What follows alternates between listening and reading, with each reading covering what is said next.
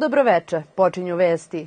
Danas je predsednik opštine Stara Pazova Đorđe Radinović održao godišnju konferenciju za novinare i tom prilikom izrazio zadovoljstvo daljim razvojem opštine Stara Pazova od privrednog do sportskog.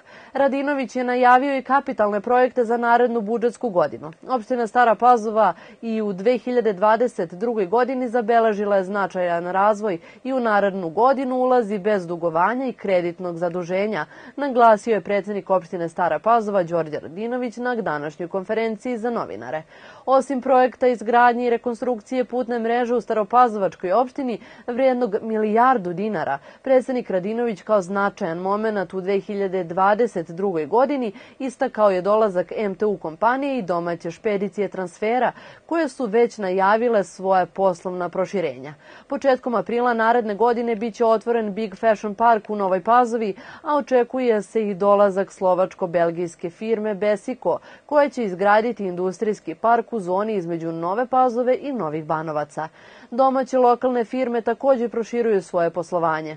Budžet za narednu godinu nadmašiće 4 milijarde dinara za oko 400 miliona više u poređenju sa ovogodišnjim sredstvima, što naravno povećava mogućnosti napredovanja opštine koja je regionalni lider na više polja. Na konferenciji najavljeno je i uvođenje lokalnog prevoza koji treba do maja da zaživi, izgradnja kanalizacije kao deo projekta Zdrava Srbija, otvaranje dečijih igrališta, proširenje vrtića. Investiraće se u socijalni program, obrazovanje, kulturu, sport, istakao je predsednik Đorđe Radinović. Na kraju konferencije je predsednik opštine Stara Pazova svim građanima čestitao nastupajuće novogodišnje i božićne praznike. Barikade Srba na severu Kosova i Metohije ulaze u 13. dan. Poručuju da će ih ukloniti kada Priština oslobodi Dejana Pantića, Miljana Adića i Slađana Trajkovića i kada sa severa povuče specijalne snage kosovske policije. U mestu Rudare na severu Kosova i Metohije održan je veliki protest Srba. U oči protesta kosovska policija postavila je blokade na magistralnom putu. Predsednik Srbije Aleksandar Vučić poručio je Srbima na Kosovo i Metohiji pred veliki narodni i demokratski protest na barikadi u Rudaru kod Zvečana da će im uvek pružati podršku i da se neće kriti od velikih i moćnih u svetu, ali da će uvek biti dovoljno odgovoran da ih pozove da budu staloženi i čuvaju mir. Sutra će biti održana 26. sednica Skupštine opštine Stara Pazova u svečanoj sali Bele zgrade. Dnevnim redom zasedanja predloženo je više tačaka koje se tiču programa poslovanja javnog komunalnog preduzeća Čistoća, komunalnog preduzeća Vodovod i kanalizacija, preduzeća Toplana Stara Pazova, javnog preduzeća Urbanizam i javnog preduzeća Opštinska stambena agencija za 2023. godinu. Lokalni odbornici sutra će razmotriti i predlog odluke o budžetu opštine Stara Pazova za 2023. godinu.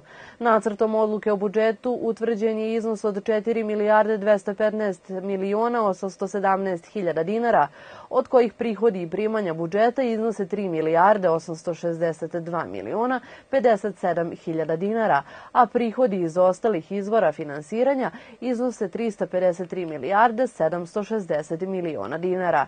Na sutrašnjoj sednici će razmotriti predlog programa rada Skupštine opštine za narednu godinu, a biće postavljen i zamenik sekretara Skupštine opštine Stara Pazova.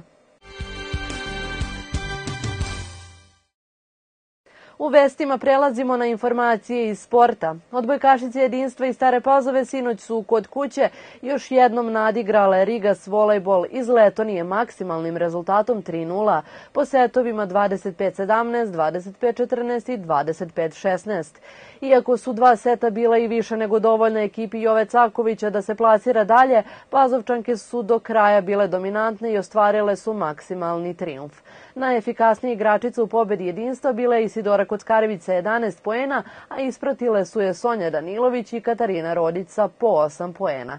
U osmini finala Kupa izazivača 2023. godine gledat ćemo direktan okršaj dva tima iz Srbije, jedinstva i UBA, jer su Uvljanke u Švajcarskoj nakon zlatnog seta prošle dalje. Hala jezero u Kikindi je sinoć bila na rukometnoj mapi Vojvodine gde su odigrane dve utakmice finala Kupa Vojvodine. U ženskoj konkurenciji je pobedila mladost iz Nove Pazove, a u muškoj konkurenciji kup je pripao Kikinđanima. Posle dobre rukometne predstave i rezultatskog preokreta mladost iz Nove Pazove je bila bolja od ekipe Srema i Sremske Mitrovice. Na kraju meča je rezultat bio 30-29. Za najbolju rukometašicu proglašena je Leposava Glušica, kapiten ekipe iz Nove Pazove. Druga utakmica je bila duel dve muške ekipe domaće Kikinde i Jugovića iz Kaća. U sudaru dva tima iz Arkus Lige Srbije je pobedila Kikinda sa rezultatom 31-28.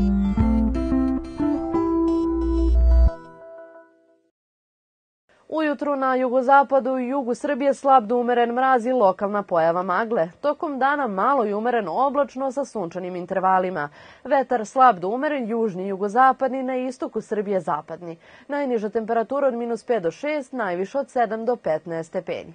Pratili ste vesti. Hvala vam na pažnji.